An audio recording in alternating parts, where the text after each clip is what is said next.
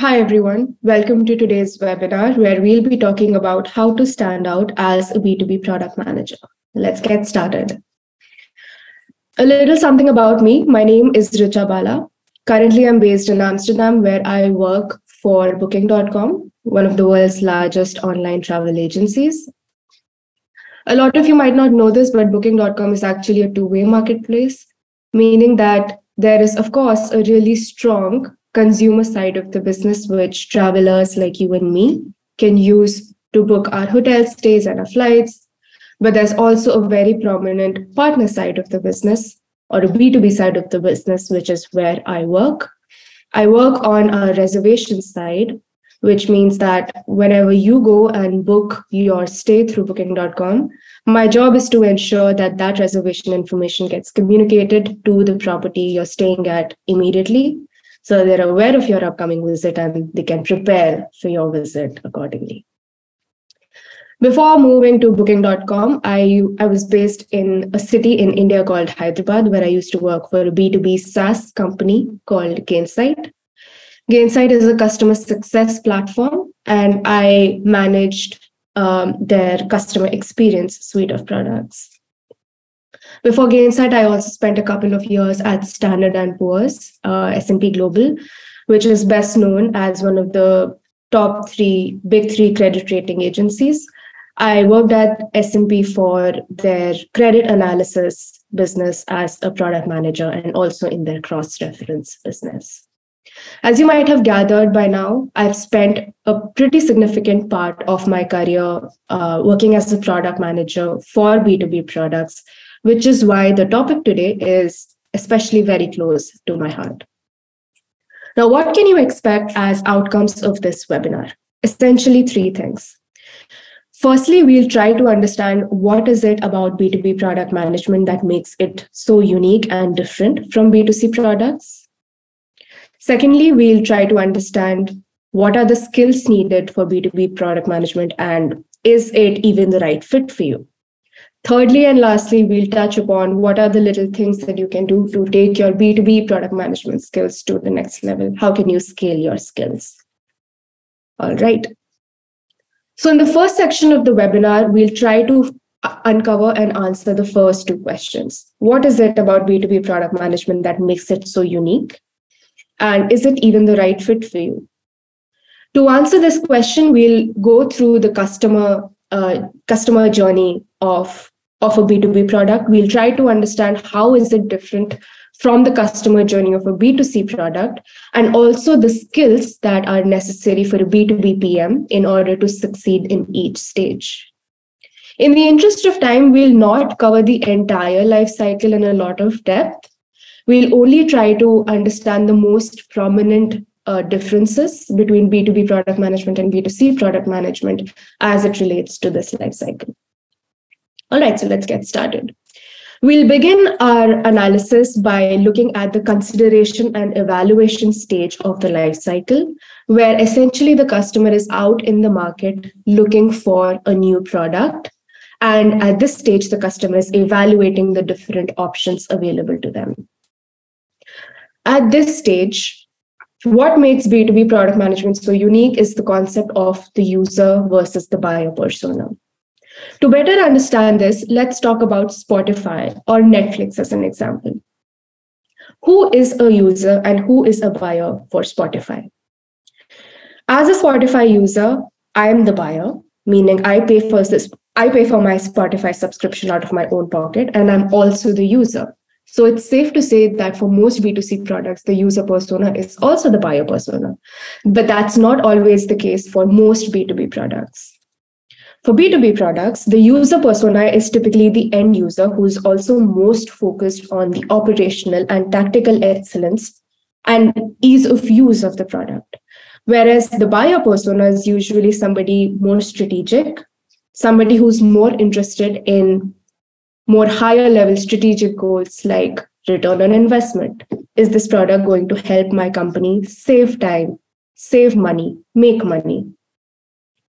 So essentially, a B2B PM, a successful B2B PM understands that a successful product appeals not just to the end user, but also the buyer persona.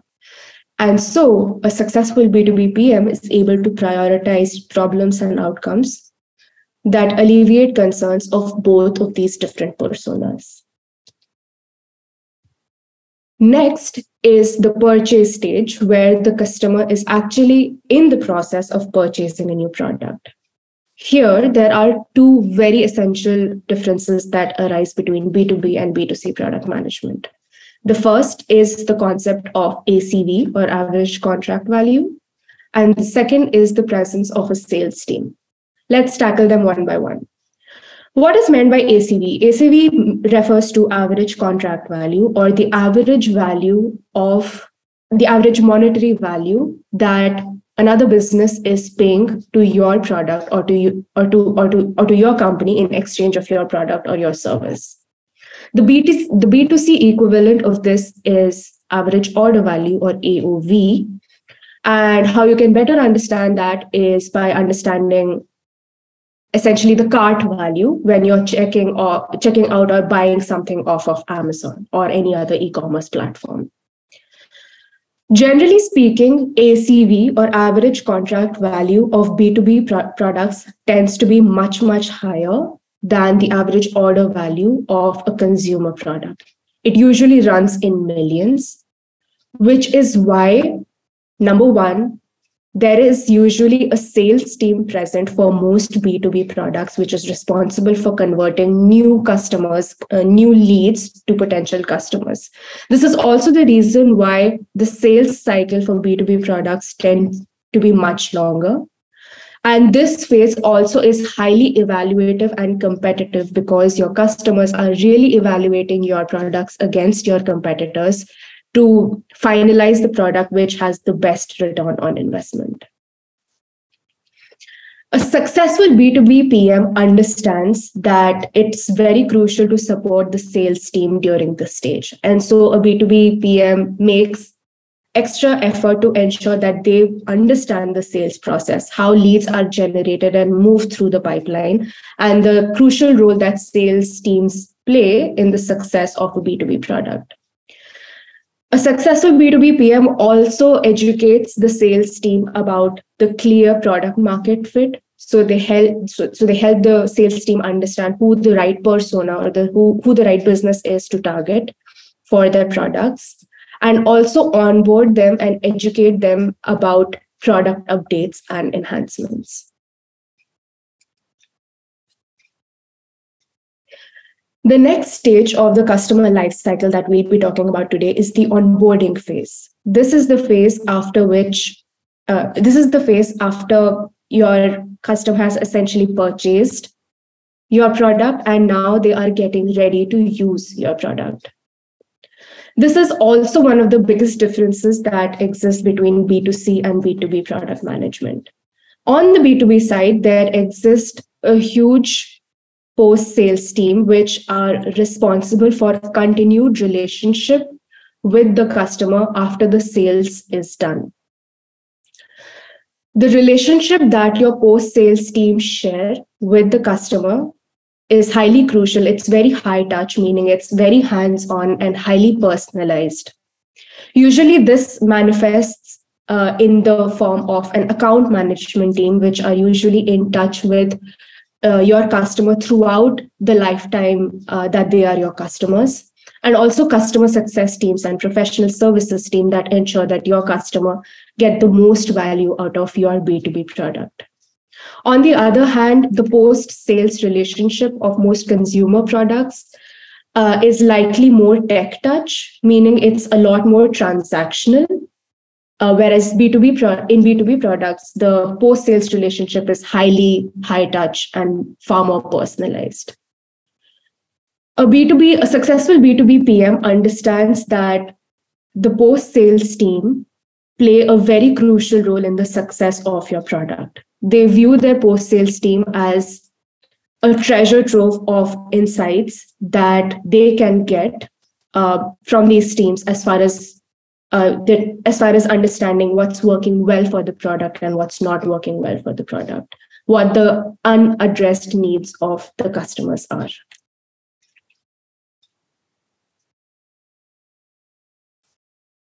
Next, we'll talk about the phase of the customer journey where your customer is actually using your product. This is the use and experience part of the life cycle.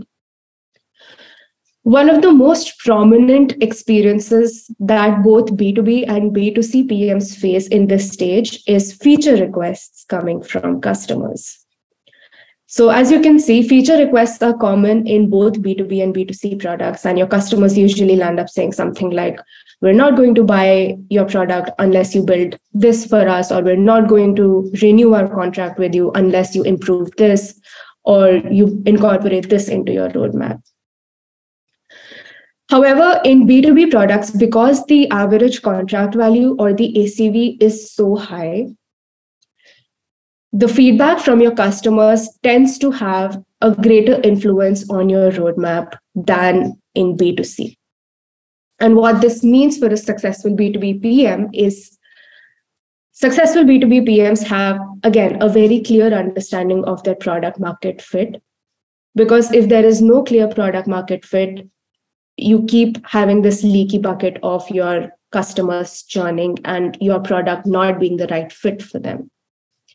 Successful B2B PMs also have a very, very clear definition of the product vision and strategy that is not only well understood by their internal stakeholders, but also by their external stakeholders, meaning their customers. Successful B2B PMs also understand that decision making needs to be multidimensional, meaning that decisions cannot be made on opinions alone or on data alone. It has to be a well uh, well-oiled balance between the two. And of course, keeping a co- constant pulse on customer pain points and needs always helps because PMs are then better able to anticipate and prioritize some of these feature requests. Lastly, we'll talk about loyalty and advocacy. For your customers to be loyal to you, to continuously renew their contracts with you and to be advocates for you, as a PM, you need to have a high level of user empathy for, for the customers of your product. However, in B2B, this developing user empathy is extremely challenging. This happens essentially because of two reasons. Firstly, your end users and your customers are multidisciplinary. What I mean by that is no two users of your B2B product are the same. They could have different they could be different on the basis of the content of the work that they do their organizational structure the level of engagement that they might have with your product.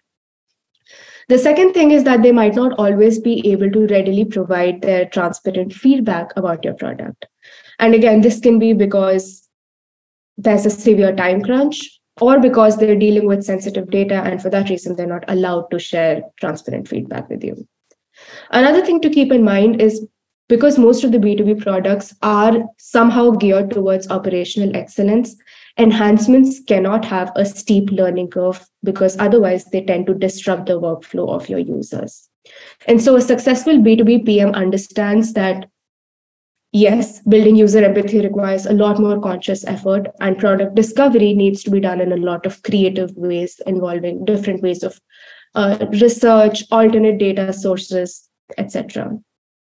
Successful B2B PMs also understand that the release cadence needs to be well paced. It cannot be too aggressive, and changes cannot be too radical. They have to be iterative in nature. Customers need to be trained about big changes that are coming up, especially on core flows. Now we're nearing towards the end of the first section of the webinar. I think it's fair to say that in some in summary, B2B product management tends to be a lot more high touch, a lot more personalized, but it's also more risk averse and more expensive as compared with B2C product management. And thus, a successful B2B product manager, in summary, requires these five critical skills in their toolkit the ability to communicate constantly and clearly, the ability to prioritize effectively, the ability to minimize risks, the ability to build trust and convince smart people around them, and the ability to develop high empathy.